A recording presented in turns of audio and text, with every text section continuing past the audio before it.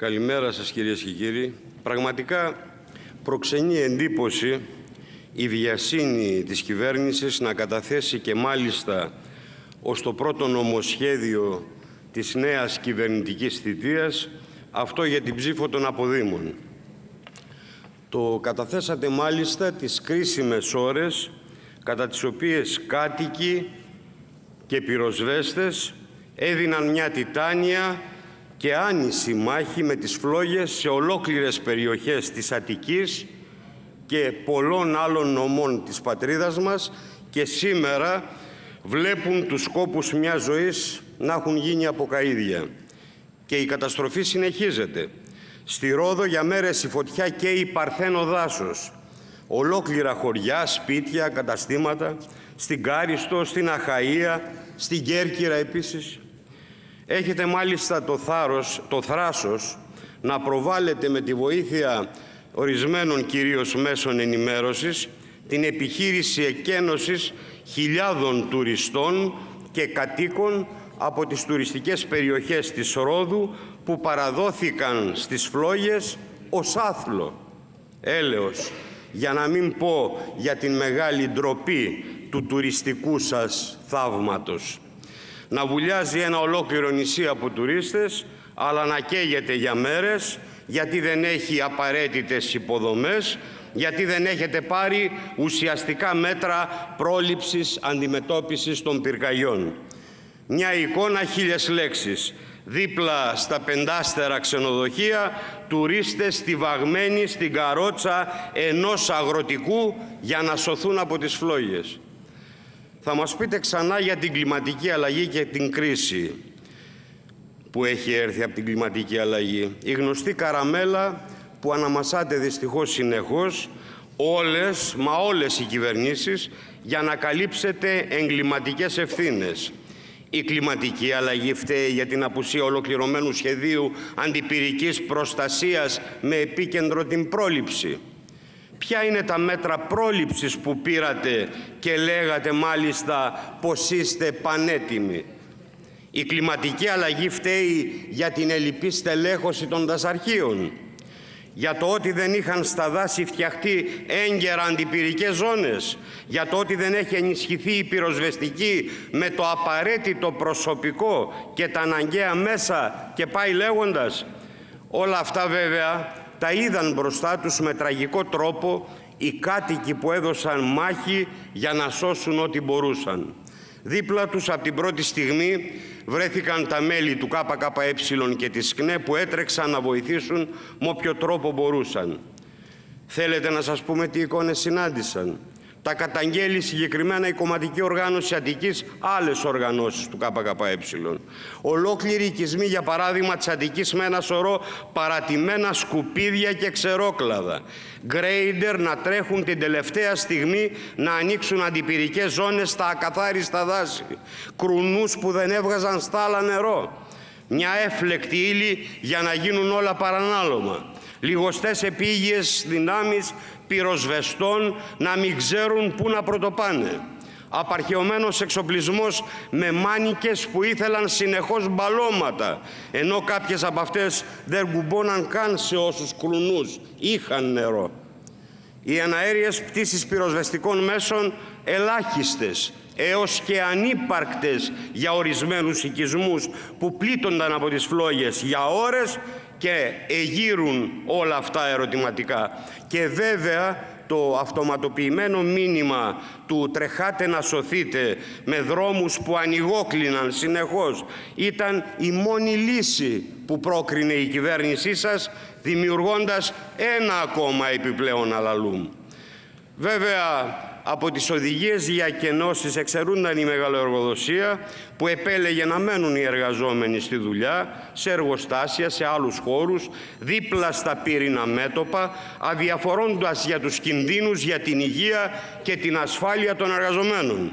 Όλα αυτά δηλαδή τα οποία αναδεικνύονται κάθε καλοκαίρι σε τέτοιες καταστροφές. Όλα αυτά για τα οποία σας προειδοποιούσαμε επίμονα όλο το προηγούμενο διάστημα. Αλλά ποτέ δεν κάνετε τίποτα. Γιατί όλα αυτά δυστυχώς τα αντιμετωπίζετε μόνο ως κόστος. Και φτάνουμε κάθε χρόνο να μετράμε απώλειες φυσικού πλούτου, περιουσιών των ανθρώπων και είμαστε ακόμα στον Ιούλιο. Έχουμε δρόμο δηλαδή ακόμα. Θα σας το ξαναπούμε. Πάρτε τώρα όλα τα μέτρα για να μην έχουμε άλλες τέτοιες καταστροφές. Η κλιματική αλλαγή δεν μπορεί να είναι άλοθη, αλλά μόνον ο λόγος για να υπάρξει επιτέλους πραγματική αλλαγή πλεύσης στα ζητήματα πολιτικής προστασίας με προτεραιότητα την πρόληψη. Εσείς όμως συνεχίζετε. Για άλλη μια χρονιά τα χρήματα που εγκρίθηκαν για έργα δασοπροστασίας είναι το 10% μόνο αυτών που είναι αναγκαία σε ετήσια βάση για το σύνολο της δασοπροστασίας.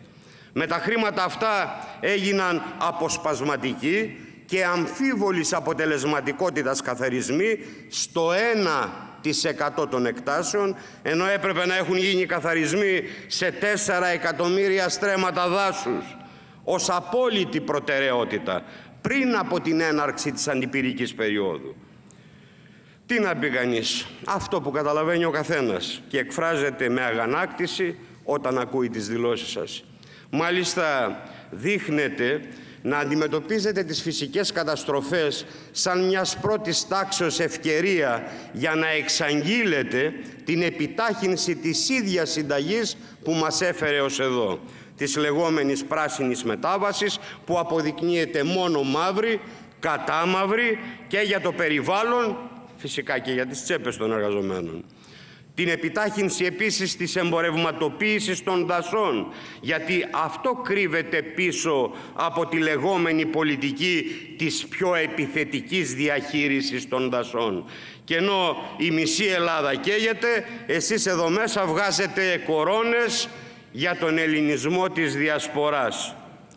Ξαναρωτάμε λοιπόν, γιατί αυτή η βιασύνη για την ψήφο των αποδήμων; Μήπως συνδέεται αλήθεια και με μια άλλη σας βιασύνη να προωθήσετε τις επικίνδυνες διευθετήσεις με την Τουρκία και μάλιστα υπό την ομπρέλα των ΗΠΑ του ΝΑΤΟ στο Αιγαίο, την Ανατολική Μεσόγειο και το Κυπριακό; Ακούσαμε μάλιστα τον Πρωθυπουργό να μιλάει για αναγκαίες υποχωρήσεις και να λέει ότι η εθνική κυριαρχία είναι σχετική έννοια.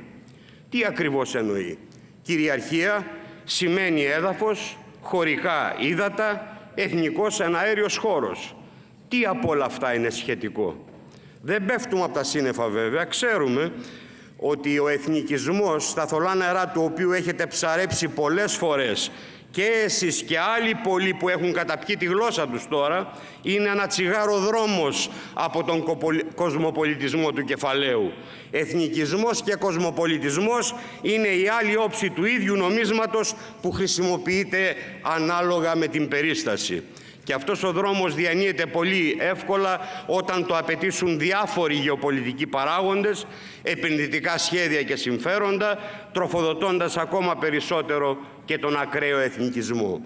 Είναι γεμάτη από τέτοια παραδείγματα η ιστορία της παράταξής σας. Μην τα θυμηθούμε τώρα. Ξέρετε βέβαια ότι μια τέτοια επιλογή θα σας επιφέρει εκλογικές απώλειες από ψηφοφόρους που τους άρεσε να σας βλέπουν να μιλάτε κάτω από το άγαλμα του Μεγαλέξανδρου προεκλογικά Τώρα όμως ετοιμάζεστε να τους αφήσετε να κάνουν παρέα με το Βουκεφάλα και προφανώς αναζητάτε τις αντίστοιχες εφεδρίες προς αναπλήρωσή τους. Μάλλον το βλέμμα σας το έχετε κυρίως στραμμένο λάγνα στη χώρα εκείνη που είναι και η επισπεύδουσα των διευθετήσεων στα ελληνοτουρκικά. Ξέρετε για ποιους λέμε. Για εκείνους τους συμμάχους όλων σας εδώ μέσα που πρότειναν πριν λίγες μέρες να σβηστεί το όνομα της Κυπριακής Δημοκρατίας από τους νατοικούς χάρτες και να περιγράφεται μόνο από συντεταγμένες. Πάλι κατάπιατε τη γλώσσα σας εσείς οι υπερπατριώτες.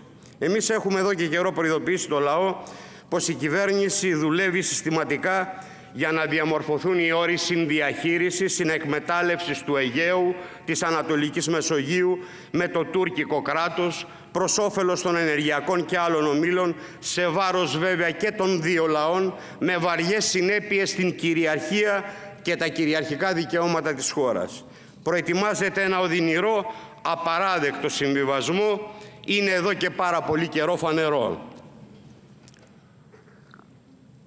Σταματήστε όμως να παριστάνετε ότι είστε οι μόνοι που κόπτεστε για τους Έλληνες που έχουν μεταναστεύσει στο εξωτερικό και θέλετε να τους δώσετε φωνή. Αυτό είναι το πιο προκλητικό απ' όλα.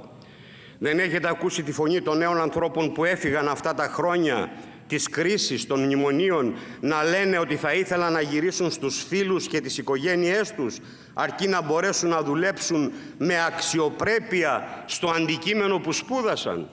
Αλήθεια, η εργασιακή ζούγκλα που έχετε διαμορφώσει και εσείς και άλλες κυβερνήσεις, όπως για παράδειγμα το έκτρωμα του κυρίου Χατζηδάκη, αυτά δεν είναι που σπρώχνουν σε αυτή την κατεύθυνση στη μετανάστευση.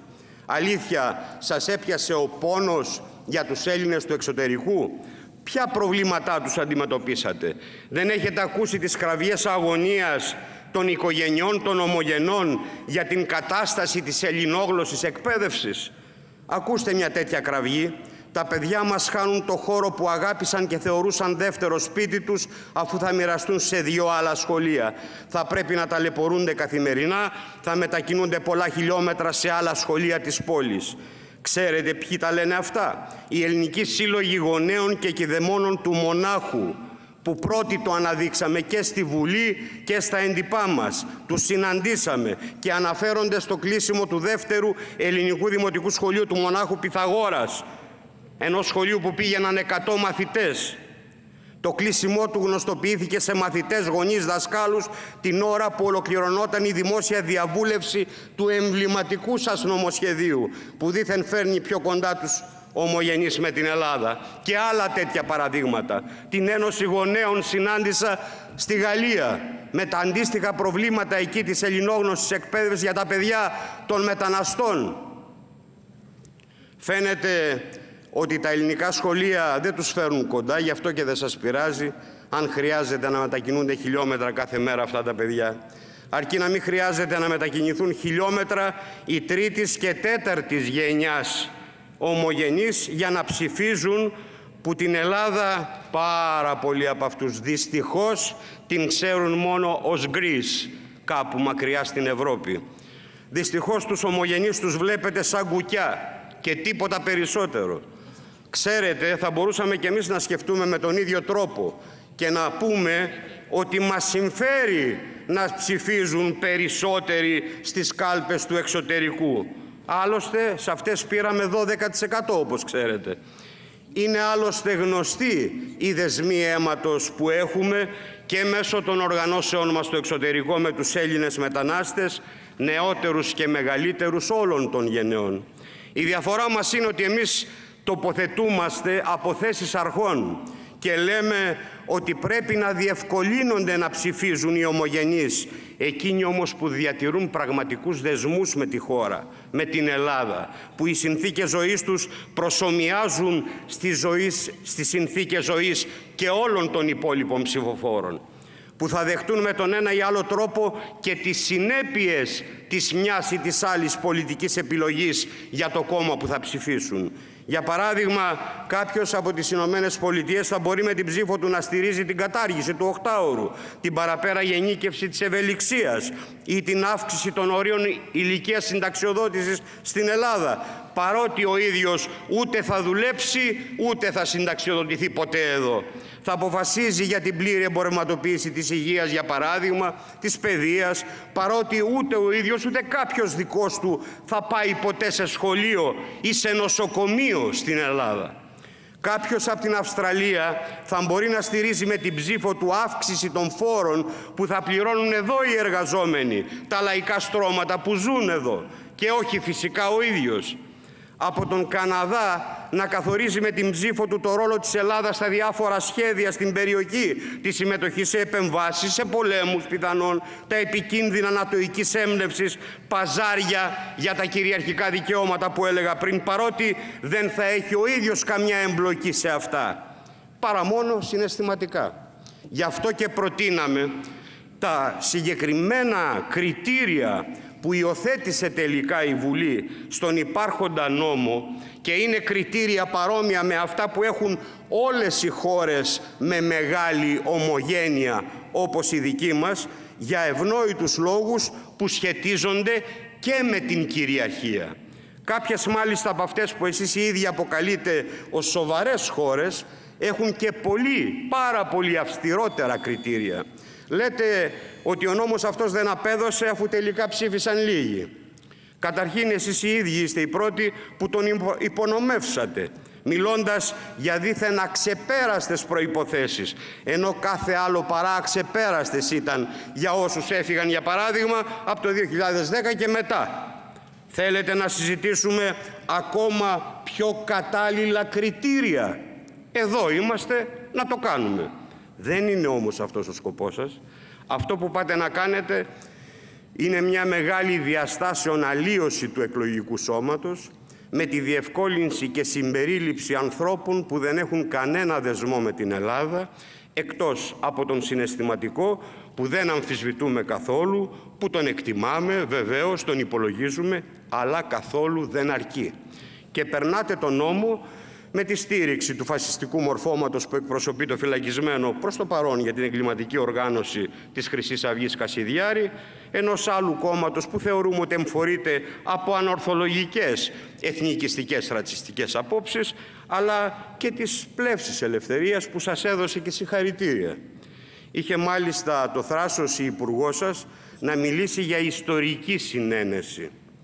Έτσι ονομάζεται το ξέπλυμα της ακροδεξιάς το οποίο προωθείται με την αντίληψη περί ελληνικών γονιδίων που υπερτερούν των υλικών δεσμών. Όσο για το ΠΑΣΟΚ, το οποίο επιδιώκει να προσδώσει δίθεν προοδευτικό άλοθη στο νομοσχέδιό σας, τι να πει κανείς. Άλλωστε πάντα στα δύσκολα μπορούσατε να στηριχτείτε πάνω του. Αυτό πάλι πώς το έχετε καταφέρει είναι απορίας άξιο. Και να του παίρνετε στελέχη και να υπερψηφίζει νόμους σας που συμφέρουν εκλογικά εσάς και όχι εκείνο, αλλά τα ισοκομματικά δεν μας αφορούν. Μη μας λέτε όμως ότι δεν αλλάζεται τίποτα το ουσιαστικό με το εν λόγω νομοσχέδιο αφού η διευκόλυνση αφορά μονάχα όσους είναι ήδη εγγεγραμμένοι και μπορούν και σήμερα να πάρουν το αεροπλάνο και να έρθουν να ψηφίσουν. Ξέρετε πολύ καλά ότι δεν είναι έτσι. Όσο ισχύει το απαράδεκτο δίκαιο του αίματος που δίνει τη δυνατότητα απόκτησης ηθαγένειας και άρα εγγραφής στους εκλογικούς καταλόγους σε όποιον μπορεί να αποδείξει ότι είχε έναν πρόγονο έστω και μακρινό από το 1800 τόσο, από το 1900 που να ήταν από την Ελλάδα. Δίνεται ή δεν δίνεται κίνητρο με αυτό το νομοσχέδιο για να γίνουν μαζικές αιτήσεις απόκτησης ηθαγένειας από ανθρώπους που μέχρι τώρα δεν είχαν καν ασχοληθεί ούτε καν τους ενδιέφερε. Για φανταστείτε μια εκλογική διαδικασία στην οποία η πρώτη θέση, το πόνους των εδρών ή το ποια κόμματα θα μπουν στη Βουλή κρίνεται, να κρίνεται οριακά και στο αποτέλεσμα να έχει παίξει καθοριστικό ρόλο η ψήφος ανθρώπων που ζουν στην άλλη άκρη του κόσμου και πιθανά να μην έχουν έρθει ποτέ στην Ελλάδα. Τι συζήτηση θα ανοίξει τότε εντός των συνόρων; Θα στραφούν ή δεν θα στραφούν οι άνθρωποι που ίσως ήθελαν ένα άλλο αποτέλεσμα εναντίον των ομογενών. Βλέπετε πώς διαμορφώνεται τις προϋποθέσεις για να αναπτυχθεί διχόνοια ανάμεσα στους μέσα και στους έξω. Και βέβαια με την ψήφιση του νομοσχεδίου σας φτάνουμε στον απόλυτο παραλογισμό να διευκολύνεται να ψηφίζει από τον τόπο που βρίσκεται αυτός που δουλεύει, για παράδειγμα στις Ηνωμένες Πολιτείες Αμερικής και να μην διευκολύνεται αυτός που δουλεύει μια σεζόν εδώ στη Σαντορίνη. Αλλά είπαμε, εσάς σας νοιάζουν τελικά μόνο τα κουκιά σας. Κλείνοντας, θέλουμε να σας ξεκαθαρίσουμε ότι εμείς θα κάνουμε ό,τι περνά από το χέρι μας να μην περάσει η προπαγάνδα σας τόσο εντός όσο και εκτός συνόρων να είστε σίγουροι ότι οι ομογενείς, οι μετανάστες εργάτες των προηγούμενων δεκαετιών, τα παιδιά τους και τα εγγόνια τους, οι εκατοντάδες χιλιάδες νέοι, κυρίως επιστήμονες, που έφυγαν τα τελευταία χρόνια κυρίως, τα παιδιά που σπουδάζουν τώρα στο εξωτερικό, έχουν και γνώση και κρίση και μνήμη. Καταλαβαίνουν πολύ καλά τι πάτε να κάνετε και δεν θα τους παραπλανήσετε έτσι εύκολα με τις κενές περιεχομένου συναισθηματικές κορώνες σας. Θα συνεχίσουμε να δίνουμε τη μάχη στην Ελλάδα και στο εξωτερικό ενάντια στην πολιτική σας, ενάντια σε αυτό το βάρβαρο σύστημα που υπηρετείτε και που η βαρβαρότητά του κυριολεκτικά δεν έχει σύνορα. Ευχαριστώ.